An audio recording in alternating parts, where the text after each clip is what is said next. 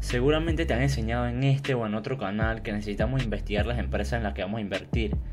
Pero te voy a traer hoy 5 pasos para filtrar una empresa, para no perder nuestro tiempo investigándola si no vale la pena. Bienvenido una vez más al canal de Planeta Financiero, el canal donde tú vas a poder aprender a invertir por tu propia cuenta. Así que si eres nuevo por acá, considera suscribirte. ¡Vamos!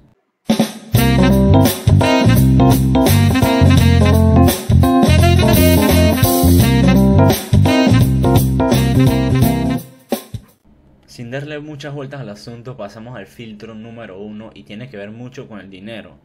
Cuando nos interesamos por una compañía porque la escuchamos, nos tenemos que preguntar, entiendo cómo la empresa gana dinero, no simplemente que está haciendo dinero a otras personas, debemos entenderla. Una empresa como Delta Airlines sabemos que gana dinero a través de vender tiquetes y transportar personas de países en países. En cambio, una empresa que se dedica al sector de la salud o la medicina va a ser más difícil entender cómo ganan dinero. Para este filtro me encanta citar una frase de Peter Lynch que dice que aproveches el campo donde tienes experiencia y no puede tener más razón. Por más que tú sepas finanzas corporativas, por más que sepas leer estados financieros, balanzas de cuenta, si tú no entiendes cómo la empresa genera su dinero, te vas a sentir frustrado porque vas a leer son puros números y no vas a entender si la empresa le está viendo bien o mal. Yo te recomiendo que si por ejemplo tú trabajas en el sector de la construcción, busques invertir en empresas de construcción que tú consideres que tengan calidad, ya que tú más que nadie vas a entender cómo estas empresas generan su dinero y cuáles pueden tener un buen futuro. Pasemos al segundo filtro. Para que entiendas un poco mejor te voy a contar una pequeña historia. Seguro te acuerdas de Blockbuster, esa empresa que nos alquilaba y nos rentaba físicamente, películas, videojuegos, entre otras cosas. ¿Qué pasó cuando llegó la era digital? Blockbuster no se adaptó, no se adaptó a los cambios y es donde ahí apareció Netflix y se quedó con todo el mercado hasta que Blockbuster llegó a la quiebra. Es ahí donde llegamos a nuestro segundo filtro. Cuando nos interesa una empresa, pregúntate, ¿tiene un negocio sostenible en el futuro o es fácil de destronar? Seguramente una empresa como Blockbuster que no se quiso adaptar fue fácil de destronar, pero una empresa como Coca-Cola que tiene un monopolio en el mercado y están innovando cada año no va a ser muy fácil de destronar. Pasemos a nuestro tercer filtro. Para contarte el tercer filtro vamos a hacer una pequeña comparación. El tercer filtro son las ventajas competitivas que ofrece la empresa. Y qué mejor empresa para utilizar que una que se está viendo muy positivamente afectada durante esta crisis y una de las mejores empresas de la actualidad, que es Amazon.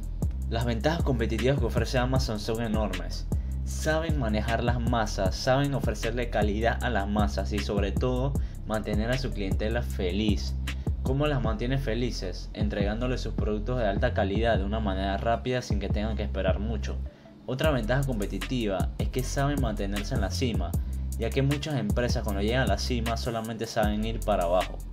Y no íbamos a comparar Amazon con otra empresa que no fuera eBay. Las ventajas competitivas que ofrece eBay ante Amazon puede ser que encontremos mejores precios en eBay que en Amazon. Pero el precio de esto es que en la mayoría de los casos la entrega de nuestro producto a nuestras manos va a demorar un poco más. También te quiero recordar que eBay mucho tiempo estuvo en la cima y no se pudo mantener. Es aquí donde nosotros tomamos una balanza entre empresas del mismo sector definimos las ventajas competitivas y siempre nos vamos a decir a nosotros, entre menos ventajas competitivas tenga una empresa, menor crecimiento vamos a esperar de ellas. Pasemos al cuarto y penúltimo filtro de nuestra lista y tiene que ver muchísimo con el crecimiento de la compañía. Pero ¿cómo puede crecer una compañía? Bueno, puede crecer aumentando sus ventas, puede crecer mejorando sus costos o puede crecer encareciendo el precio de sus ventas o de sus servicios. Pero corre y ve a ponerte tus lentes o tus gafas, porque lo que nosotros tenemos realmente que ver en una empresa es sus ingresos están aumentando o no. ¿De qué le sirve a la empresa mejorar sus costos, encarecer sus precios de venta o sus servicios si tiene un equipo de manejo que ve el dinero entrar y por ahí mismo lo manda a salir por la puerta de atrás. Antes de ir al último filtro, recuerda darle like a este video, suscribirte si todavía no lo has hecho para ayudar a crecer la comunidad y activar esas notificaciones. Continuamos.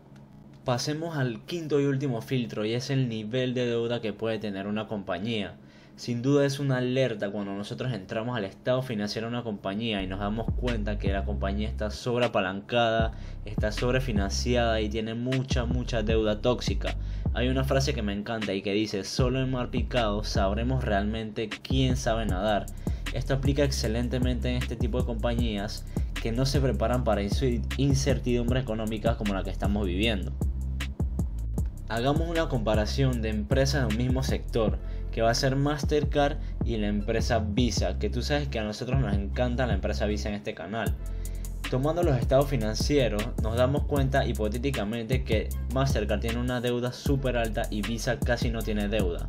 En pleno 2020 te pregunto, ¿quién tiene más probabilidades de sobrevivir a esta incertidumbre económica?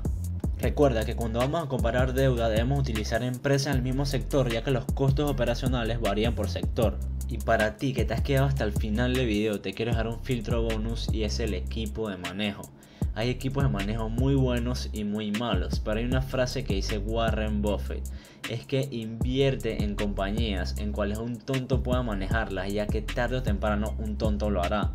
Como yo pienso que ahorita mismo está sucediendo con Twitter, pero ese lo vamos a ver un video más adelante. Hagamos un último repaso de todos los filtros. El primero es que si entiendo cómo la empresa gana dinero. El segundo, tiene un negocio próspero para el futuro o pueden destronar a la empresa. El tercero es sus ventajas competitivas sobre otras empresas. El cuarto es si sus ingresos realmente están aumentando. El quinto, su nivel de deuda y el extra es el equipo de manejo. Muchas gracias por ver hasta el final del video. Lo agradezco demasiado. Por favor, nos vemos en el próximo.